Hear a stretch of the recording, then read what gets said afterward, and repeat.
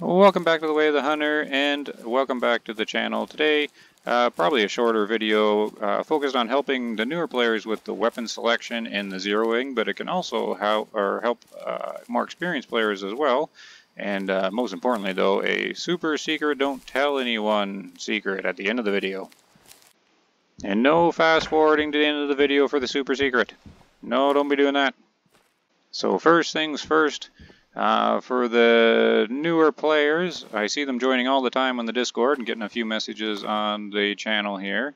I'm just going to do a little quick little rundown through the old computer here on the shop here of some of the weapons. Not all of them, uh, just sort of the main ones to focus on, sort of from easiest to most difficult. Um, and just to kind of sum it up real kind of quick what you should be looking at, just because there are quite a few uh, rifles here. Uh, so for beginners, I know uh, we're kind of going to ignore, you know, meat loss and uh, the price of the weapon, everything like that, just sort of so you can see the difficulty of the weapon and down. Uh, but it's going to go probably what you expect. The most, the easiest weapons to start with, if you can afford them or get to them, right? Um, but once you have all the weapons, these are kind of the easiest. 338, uh, so the Steyr Carbon there, and the 300, of course. Uh, pretty much. Um, I'm going to really ignore the 338 uh, just because it's a bit too easy. It's overpowered for like everything in the game. Uh, pretty much you can just hit it anywhere in the torso and you're good.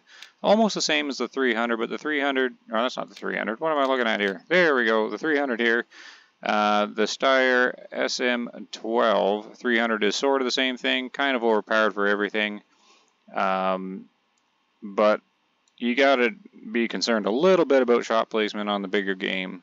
Uh, but when you're looking at these two weapons, just because of the, the power they have, uh, for a newer player, if you can afford them and get to them, um, and you just want to down animals easy and sort of ease yourself into the game, get one of these. I do recommend the 300 just to, so you do have to worry a little bit about shot placement uh, for that. Once you start uh, getting used to the game, so we'll just ignore the 338 for now. Uh, 300 as soon as possible, probably. Uh, when, when you want to start worrying a bit more about shot placement, get a little bit better at the game, uh, the monoblock's kind of your next choice here. Uh, so on the medium to small game, you don't have to worry about shot placement much at all. Just hit them in the torso and you're pretty much good. Uh, however, you do have to start practicing a bit better on the larger game. Uh, but with larger game, the lungs are larger and everything like that. Uh, but the monoblock's a little more picky uh, when with a uh, larger game with a shot placement. So start out with the 300. Uh, you know, kind of get your uh, legs used to the game and everything like that. And then once you start getting comfortable, down to the 308 you go, and that'll be you know a good right middle of the road weapon to work with.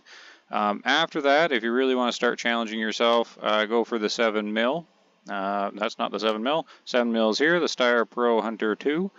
Um, it is probably the weapon, uh, you know, nice all-purpose, still challenging weapon to use, uh, but can down anything in the game. Uh, so those three rifles there, kind of to sum up, uh, easiest 300, medium difficulty, monoblock, and then the 7 mil. And if you really want to start uh, challenging yourself later on, uh, 223 the Scout. So if we ignore the shotguns and ignore the 22 and everything, because there's a few other weapons there, the 30-30 and the 22 are just sort of special weapons on their own. The 30-30 is a short range kind of blunt weapon. Uh, the 22 is just kind of like, you know, just your small game lobbing the shots. The only one that I left out was the 243s here.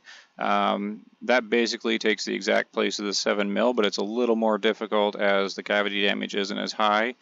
And, or however, it does have the bonus that the drop is lessened, so it is more accurate. But just to sum up real quick, uh, just you know, putting all the knowledge in over the the month that the game's been out, with everybody testing and looking at the weapons, it may seem obvious to some, but not so obvious to others. 300 easy mode, monoblock, medium difficulty, 7 mil. Just worry about those three rifles. Play around with the other ones uh, if you want. In Steyr Scout, if you really want the challenge. The Steyr Scout, Scout can take everything in the game with a single lung, even the Moose. Uh, we don't know about Brown Bear coming up. Probably not going to be Brown Bear. That's going to be a lot to ask for that. I don't think that's going to be possible in the 223. Uh, but that is the super difficult mode right there. And of course, you can bring uh, two uh, rifles with you. Uh, is just uh, want to sum that up real fast here. Now the next uh, thing coming up is the zeroing, because even with experienced players, I'm seeing that they're not quite fully understanding the zeroing um, mechanic in the game a little bit. So I'm going to demonstrate a little bit of it here. Uh, so I do prefer the Transylvania shooting range, and you'll see I got a special kind of setup here for it. Uh, here is the Jeep. I back it right up here because right at the table you can reach the trunk, access all your stuff like this. And then I like jumping up here and then you can lay down uh, and take a shot at whatever range you like here. The other bonus with uh, focusing on the three rifles that I was telling you about here, um, now my storage has got them a little mixed up here because um, there's a 338 there, the 300's up here. So the 300 uh, in the monoblock and the 7 mil. Uh, why am I not seeing the monoblock? Oh, there it is. Monoblock and the 7 mil, they all have the same sort of very similar uh, ballistics on the bullets. So all three of them shoot and drop uh, fairly similar. Uh, so if you focus on those three rifles, um, you don't really need to learn the different trajectories of the bullets. And with this game, you don't really need to worry about too much of the of the ballistics of the bullets anyways, just because you can change the zeroing on the fly. Uh, but for newer players, I definitely recommend always making shots 200 meters or less, 250 max really. You can push 300 if you like. Um, but at the 200 meters, what some people are getting confused with, if I just kind of lay down here, I've got the, the highest power zoom scope on here, but it's actually not a very good one because of the big Christmas tree kind of reticle here. Um, I always just play at the 100 meter zero mark because if you, I, I rarely shoot beyond 200, even if I shoot 250, it's not a too much um, like to, to worry about. Uh, I think people get it in their head that they got to get that zeroing right, they got to sort it out. Uh, people think if the zeroing's off just a little bit, they're going to totally throw the shot. Um, so that's some of the confusion that's out there that kind of keeps popping up. And I just want to demonstrate, because uh, I always keep it at 100 meters zero. And at the 200 meter range, um, if you're just looking at the rifles I'm talking about here, um, right here, if I shoot right on that bullseye, now there's a bit of wind to the left, so it's going to pull a little bit. I'm just going to do a quick little grouping and I'm going to show you. Uh, as long as you don't have the zeroing way off, I mean, you can just keep it at 100 and not really worry about it. And if they're at the 200, you just have to lift a little bit. Uh, but I'm just going to show you just a basic grouping here of just shooting right right on the bullseye of here. here.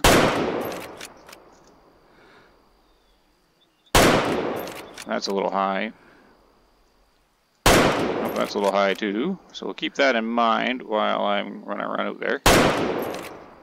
Alright, so what we need to do is, well I got the Jeep here, it's one of my tips here. We're going to jump in the vehicle real quick, and you got to drive out there real fast before the bullets disappear.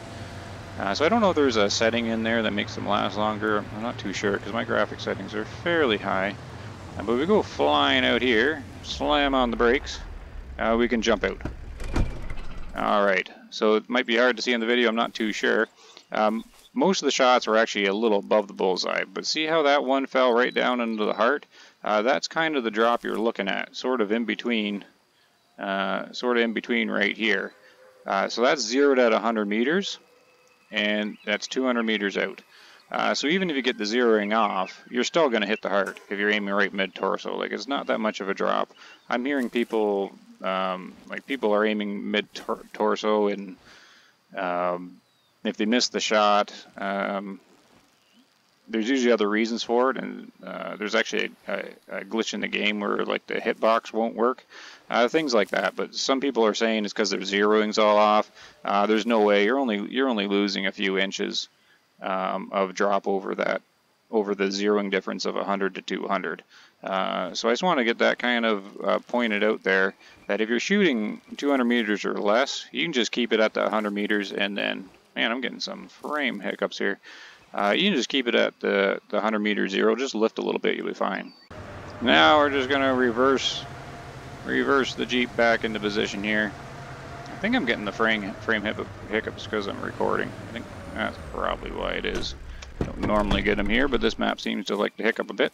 Uh, that's just why I keep it parked right there, just so you can be right out real quick to uh, to watch that, uh, or to go out and check the uh, grouping. Alright, so we're going to do, we're to light up this deer again at 200 meters, but basically just play for the drop and play the wind. Just a bit uh, left of the wind, so we just got to aim a tad to the right and a little high. We should be able to bullseye fairly well. So this is with the zeroing completely off. You can see where I'm aiming. You can see why it's not going to matter that much if your zeroing's off.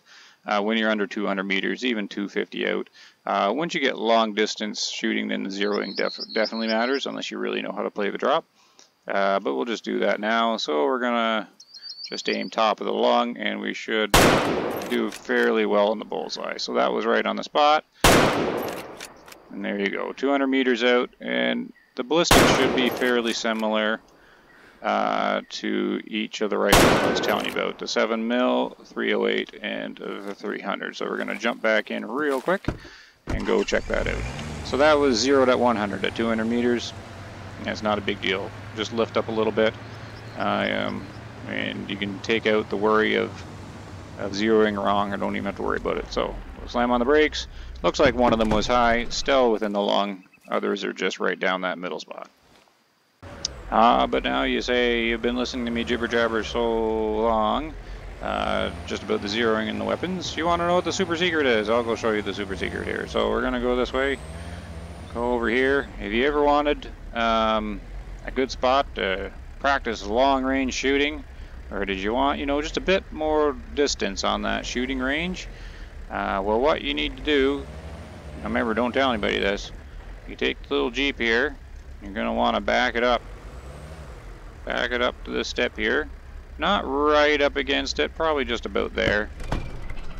And then if you do it right I'm not sure I'm to record the whole thing because I might throw out my thumb here trying to jump uh, from this angle, you can get up on the hood.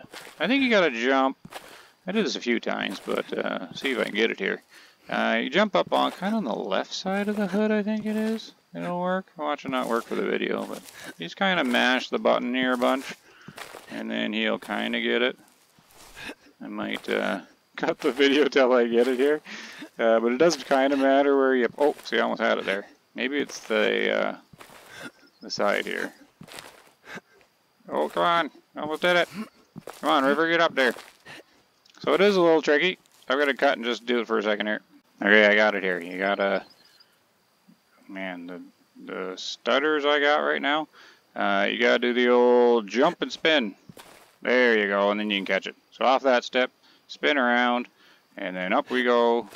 And then this is one other tricky little part, but it shouldn't be too bad. Kind of hammer away on the jump button here, and River will eventually kind of glitch up. There we go. Alright, ignoring all the little frame drops. Uh, the longer I record on this map, uh, the worse it gets. But then you're up on the roof here. So if you did want to practice uh, doing some longer shots, you can't really see the longest target up here because of the tree. But if you come down here, you can get about a 700 uh, or 700 270 meter shot here. Uh, so we'll just pull out the old 7 mil we'll load it up we'll see what kind of drop is there. So I'm going to shoot oh probably won't show in the video but kind of right at the top where'd that hit? You know what? That still landed lung front lung. So up here even at 270 meters, that caught bottom lung. And that caught, uh, that caught just above the heart. You have to take my word for it. You can't see the video on the video there, but that's kind of what you're looking at the drop. Uh, so they're all landing into the lung. Not that much lift, 270, 100 uh, meter zero. Uh, the other super secret is from up here. Uh, you got all this view, and you can see piggies. Uh, 900 meters or so out. I guess that's where my render is, where the vegetation stops not actually sure. But I, actually, I did see one about 900 out here. Uh, so if you want to practice, practice shooting at the piggies, uh, oh, there's one right there. 955. Uh, nice little spot up here. If you can manage uh, that little trick to get up on the uh, lodge here. Oh, and you have if you have the DLC, you can always try and see. I don't think I've done it yet. You can jump and try and get on the back of the statue. No, all right. I keep trying to do that, but I can't. Uh, so it looks a little ridiculous, but that's where you park a Jeep. And then, uh, just as a refresher, if you practice with it, that shouldn't be too hard. I think you keep the shift on. You just kind of jump and spin. It'll, it'll, it'll, take a little bit. jump and spin. Um, yeah, there we go. You'll you'll catch it there. Uh, that, and that's how you do that. The other way I was doing it was I was parking the Jeep um, right at this window here, and then getting up the back the normal way. Um, I guess I'll show that just real quick. So if that way wasn't working for you, and you really want to get up here, you can just kind of, you got to snug it right up against this wall here. Right here. Right, right, right chair. Oh, oh, it's kind of stuck. Uh, that should be good. And you just do the normal thing like I did in the other Jeep tip video. Uh, you jump on the back and swing it to the right a little bit, hammer that spacebar, and then you're up. Uh, this one is not so successful. Um, you just sort of, your, your hand will get tired on the jump key. But if you keep hammering away at that, you'll eventually glitch up on the roof. Um, but I don't really have the definite trick for it. Um, sometimes when I like look down, you'll get up there or up or something like that. You'll kind of glitch out a little bit, but well, not glitch out, but he kind of catches. I'm not too sure what he catches on. Uh, that way it can work too. It's just not so reliable. Uh, that way is a, a bit better there. And then I haven't figured this out, but um, like you might be able to use this if you're having trouble. You can jump up on the sign here, and then you can try and jump on the Jeep that way too. Uh, a bunch of little ways, just a neat little thing I found there just to try and make uh, make it uh, a longer distance shooting range.